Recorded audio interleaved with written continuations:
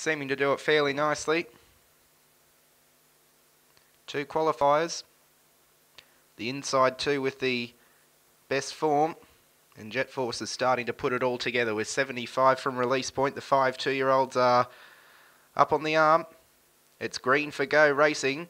And as anticipated, Gabby's Reason got away well, likewise Better Jewel.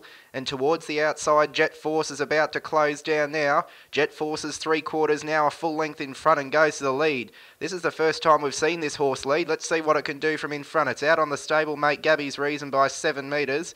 And then comes Better Jewel. On its outside is Tooth on a Roll. And Mac, and Mac Excellence is or Mac, Mac Brilliance is last of all. 8.4 the lead time with Jet Force out in front. Margins 5 metres on the stablemate. Gabby's Reason, which sits in behind the speed.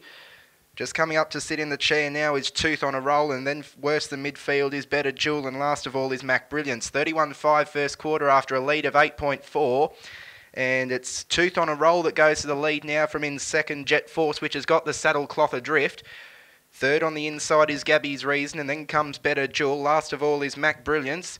And they've got about 950 metres left to go. The speed slackens again as Tooth on a roll. Rolls in front, leads by 5 metres on Jet Force, and then comes Gabby's Reason Better Jewel. There's been no change for about 200 metres now, and last of all is Mac Brilliance. 31.4 second quarter, 62.9 the half. As they go to the back with 700 to run, it's still Tooth on a roll out by 5 metres, leading to uh, Gabby's Reason, and then comes, oh, it was rather Jet Force. Gabby's Reason's out and rolling now. Better Jewel tracks it into the race.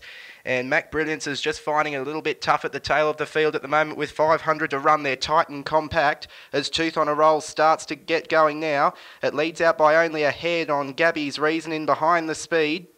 It's still Jet Force, one out, one back is Better Jewel, and coming three wide now to commence a run is Mac Brilliance. Look how tight they are on the corner. 31 1 the quarter, as I think the horse that's four and five wide, Mac Brilliance, goes to the lead. Trying hard on the inside is Gabby's Reason, and then comes Better Jewel. Gabby's Reason hit the front from Better Jewel. Coming to the outside is Mac Brilliance uh, Gabby's reasons just holding on. Here's Better Jewel the outside. It's a ding dong battle, but Gabby's reason gets the prize and wins from Better Jewel by a head only. Third in was Mac Brilliance, which looked tired at the back straight but got going.